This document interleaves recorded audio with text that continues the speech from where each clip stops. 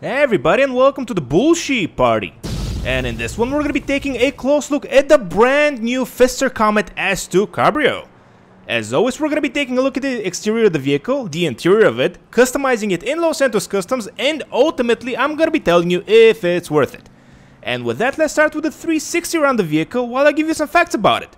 First off, this vehicle costs $1.8 million new, and as you can see, it's beautiful on the outside, and it, the best of all, it's a convertible.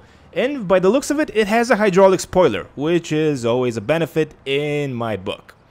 As for the interactivity you can expect from it, you can open, I'm happy to say, all four doors, the hood, and the trunk, as you'll be able to see here. Actually, you know what? Just forget what I just said. You, you cannot open the hood which is kind of a disappointment, but it goes in line with the original Comet S2. But uh, all in all, I'm really happy with uh, what Rockstar did here. And in case you think this vehicle looks familiar, familiar to you, it's because it's based on the Porsche 911 Cabrio, which of course it is. And uh, that's pretty much the exterior of the vehicle. Now let's jump in and see what the interior looks like.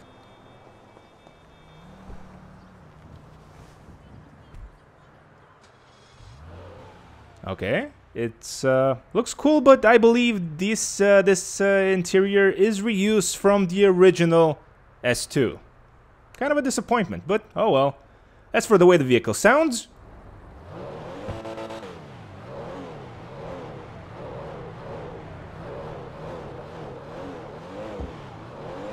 Now, correct me if I'm wrong, but I believe this vehicle sounds exactly like the S2. And the best part of the vehicle is, as I mentioned before, it's a convertible, which is so cool. Oh, and in case you're curious about the pink color, it's because it, it, it came like this. Shut up! And with that, we're off to Los Santos Customs to customize this bad boy. We're not going to be going to the agency because it's not an Imani Tech vehicle. And uh, first things first, as you can see, this is a rear wheel drive vehicle, so no surprises there. And with that useful piece of information, and uh, with the beautiful hydraulic spoiler popping up, oh man, I'm starting to love this vehicle already. We're off to Los Santos Customs and on our way there I'm going to be sharing with you my thoughts and impressions of the stock version of the S2. First off, it feels, uh, hmm, I gotta say, feels kind of like the original one. And uh, it's true that I've driven it quite a while ago, but uh, still it feels, uh, feels rather nice. I gotta say.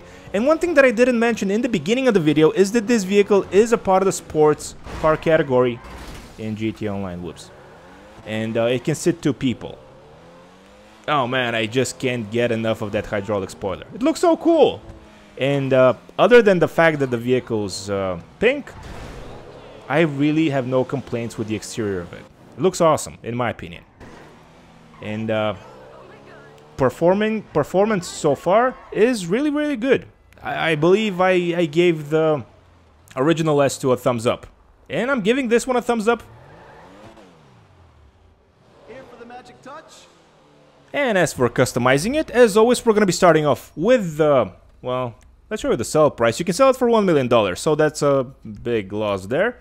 And as always, we're going to be going over all the performance options up front, upgrading those, so we don't forget anything at the end. And then we're going to be focusing on the customization of the vehicle. Turbo is the last one we're going to do. And bumpers.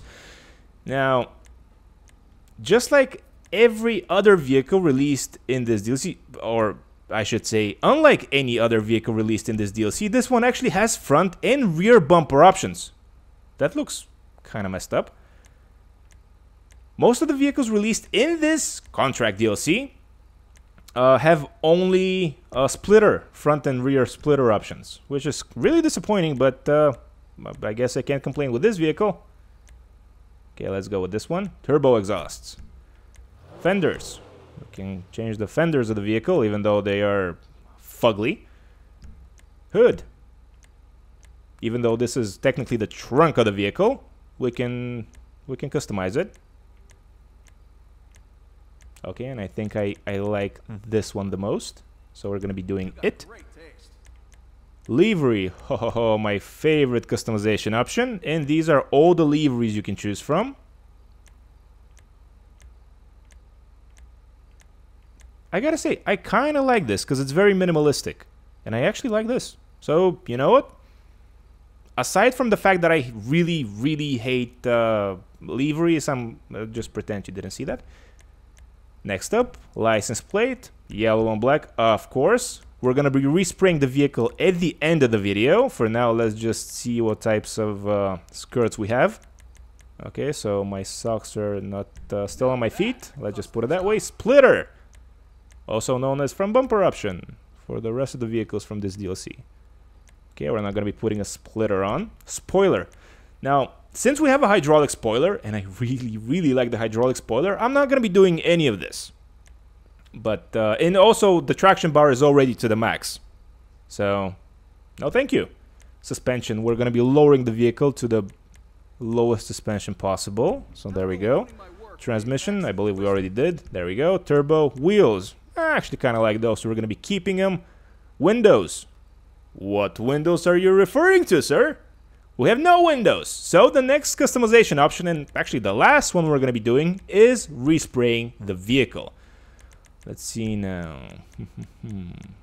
okay, I think this, yep, bluish silver it is. Secondary color. Let's go with something matte. Midnight purple it is. Trim color. Let's go with something bold. Maybe something yellow or... Yeah, this works. And the first time I'm doing this, we're going to be putting on the crew emblem, which is the BullSheep Party logo. I'm going to be branding the car, basically. And if you're part of the BullSheep Party crew, you can have this emblem as well. Yeah, $25,000 well spent. In any case, let's go outside and see what we did in the sunlight. Or rather, in the fading sunlight. I gotta say, the vehicle looks kinda good to me. Mm-mm-mm. As for the way it behaves and uh, drives after fully customizing it, I should say something first. Uh, the vehicle behaved and drove really, really well even before customizing it. But now, oh la la, it feels it feels incredible. It's one of the best handling vehicles, in my opinion, of the entire game. And actually, that shouldn't be surprising to me, considering the traction bar was already full when uh, even before, uh, you know, even with the stock spoiler. So yeah, yeah, the vehicle feels really, really nice. Especially for a rear-wheel drive vehicle, it, it behaves very, very predictably which is always a good thing. And um, as for the exterior of the vehicle, as you guys probably heard, i I'm in love with the vehicle. I'm in love with the exterior of it. I love that it's a convertible. I love that it has a hydraulic spoiler. And um, the only thing that I can fault the vehicle with is that it has kind of limited customization. But uh, hey, that's what you get with uh, 2021 Rockstar, I guess. Or rather 2022 at this point. But yeah, I'm really happy with what I'm seeing here.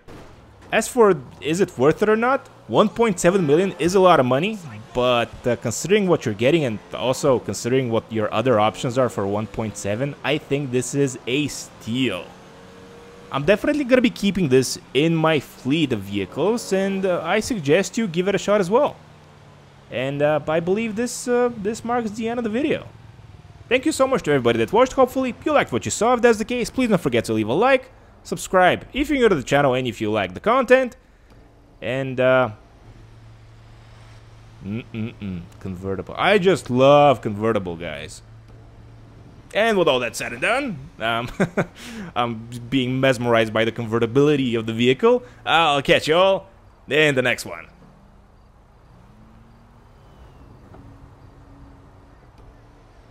Oh man, this is so cool.